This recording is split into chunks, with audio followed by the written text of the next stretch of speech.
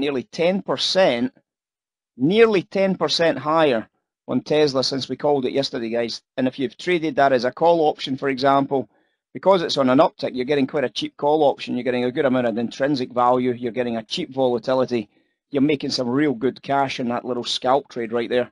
And obviously, Poparoo, there she goes, absolutely beautiful.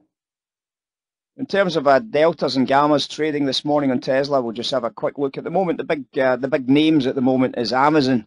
Amazon's down 127 million dollars at the moment on the gamma side of it, so that's a pretty uh, pretty meaty on the gammas there, guys. Pretty meaty on the gammas. Looking at uh, the uh, big names that we've got today, uh, Spy doesn't look very healthy, does it? Let's see what happens.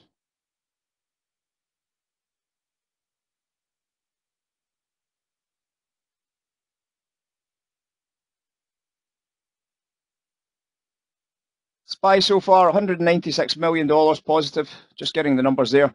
We're $48 million positive in the puts, $150, $150 million of speculative buyers on the calls.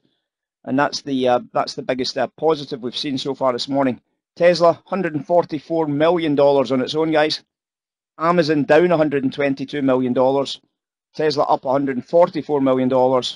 And we are off and running, guys. SPY up $196 million so far in terms of uh, value, puts at $50 million, calls at $150 million, both positive gammas, and that's adding a little bit into the cash market open so far. You can see obviously the cash market open, we got a buyer coming into those lower prices and then popping the price higher quite nicely, quite nicely.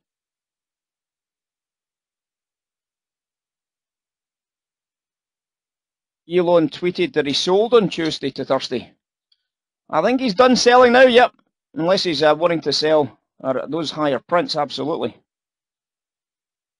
I think he was talking about selling some so he could buy Twitter and uh, the rest of the planet.